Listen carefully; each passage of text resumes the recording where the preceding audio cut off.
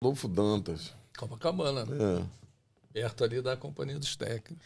E, e você, Maurão? Como é que foi assim que você começou a ganhar o cascalho assim na, na música? assim, né? É, é, Os primeiros reali- cachês e tal. na realidade, eu, eu sempre sonhei em ser músico, mas eu tinha a, a sensação né, de que o músico ganhava, mas não era uma coisa assim certa todo mês. Então, eu, eu- esse, esse receio me levou a tentar fazer alguma coisa paralela a isso. Aí fazer educação física, fui, para a Marinha primeiro. E o meu primeiro cavaquinho, quando eu comprei, eu tinha 24 anos. Caramba! É. Meu primeiro cavaquinho. Eu tocava assim no cavaquinho dos outros, via, ouvia o cara fazendo. Né? Violão já tocava um pouquinho de violão. E o que que aconteceu? Na Marinha, você lembra quando tinha o projeto 6 e meia no João Caetano? É, e, o, e o projeto Pixinguinha? Projeto Aí eu perdi o projeto. Pixinguinha, que eu não podia ir, porque lá no Marinha eu falei, quer saber uma coisa? A hora é essa. jogar tudo pro alto. Aí joguei tudo pro alto, comecei a tocar com eu. A gente fez um grupo. Primeiro era eu. Você lembra do Ronaldo Batera, não? Lembro, claro. Ronaldo Batera, falecido Testa. Você lembra do Testinha? Festa também? Claro. A gente fez um grupo e comecei a ganhar um dinheirinho ali. Muito pouca coisa. E depois eu fui morar em Vila Isabel. Então comecei a tocar naqueles barzinhos todos em Vila Isabel. Tinha um Saci ali, que era um bar muito conhecido na época, né? A gente ficava tirando um som ali, ganhava um, um mas ficava tudo por lá mesmo. na época eu bebia, na época eu bebia, né? E, e depois eu passei a ganhar melhor quando a gente formou um grupo, eu, o Biravaí, Claumir, que é o pai do Claumizinho do molejo, o São Brasil. Aí a gente foi, foi trabalhar no, naquele hotel Rio Palace, que era lá no posto 6, em Copacabana. existe lá, né? Ainda existe ele, né? É, Não, capaz de estar com mudou de- outro nome, é. mudou de nome. E lá nós fazíamos tipo o almoço, a hora do almoço. Aí o que que acontecia? Nós éramos muito requisitados para fazer festa, essas coisas todas. Foi quando eu me lembro foi quando eu comprei meu primeiro carro. Aí, Aí, a coisa começou a clarear, né? E, e o meu cavaquinho, engraçado, eu ainda estava na Marinha. Eu, todo dia eu passava ali na Marechal Floriano, olhava. Eu falei, pô, vou comprar um Lá no. Bandolim de Ouro. Porra, mas, mas eu namorava uma menina, rapaz. A menina, ela queria casar. Quando, quando eu cheguei com um cavaquinho, porra, mas foi uma confusão. seu. Acredito que tu tá comprando cavaquinho e a gente para comprar geladeira. E o pior, o pior é que não tinha mais sossego. Toda hora, né? Pô, Mauro tá aí. Vai. Pô, Mauro, ali tem um churrasco ali, eu pegava o cavaco. Mas foi isso aí. Não me arrependo, não. Graças a Deus. Pô, legal. o- essa história do Mauro também, de querer fazer uma coisa paralela, eu me formei em comunicação pela PUC. Eu era bolsista. Meu pai, é, quando eu passei para PUC, eu fui, eu fiz assim, X pontos, que era dois pontinhos a menos do, do último cara classificado para comunicação. Aí meu pai, pô, meu filho, eu falei, pô, pai, eu vou passar, tem a reclassificação, tem muita gente que faz dois vestibulares e tal. Não, tá doido, rapaz, vai fazer outro, outro vestibular. Então você tá indo para PUC, tipo assim, né?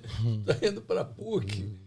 E eu falei, não, mas já tem um esqueminha que se eu passar para PUC, eu vou, eu vou ficar como bolsista. Eu até brinco, eu falo que eu jogava salão, campo e society pela PUC. Eu, eu brincava lá com o pessoal, um dos técnicos do, era o Seabra, que depois virou sócio do Pelé e tudo. Eu falei, pô, Seabra, eu tenho que ter três bolsas, cara, eu jogo os três, né? Aí meu pai falou, pô, seu, então faz um outro vestibular aí, cara. Eu fiz um outro vestibular para pedagogia. Né?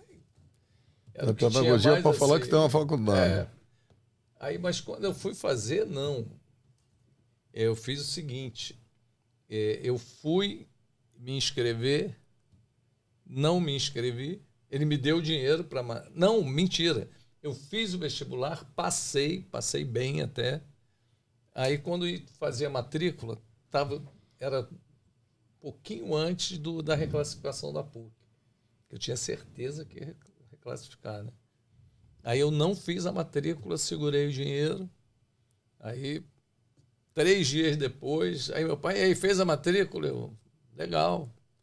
Aí quando eu fui ver o resultado, fui reclassificado para PUC. Melhor ainda, fui para o segundo período, eu fiquei seis meses de bobeira só. É, Só de onda, porque eu fui classificada por período, né? Eu fui pro segundo período. Aí falou, e aí, meu filho? Não, tá tudo certo, Pá. Aí eu cheguei para ele, ó, toma teu dinheiro aqui, que eu tinha certeza que ia passar. Você é maluco? Pô, cara, não, você não podia ter feito isso. Eu falei, então me dá o dinheiro, cara. Finge. eu falei para ele, finge que eu, que eu me matriculei, né? Eu vou escolher a PUC mesmo. Aí, não, fica com dinheiro aí. aí.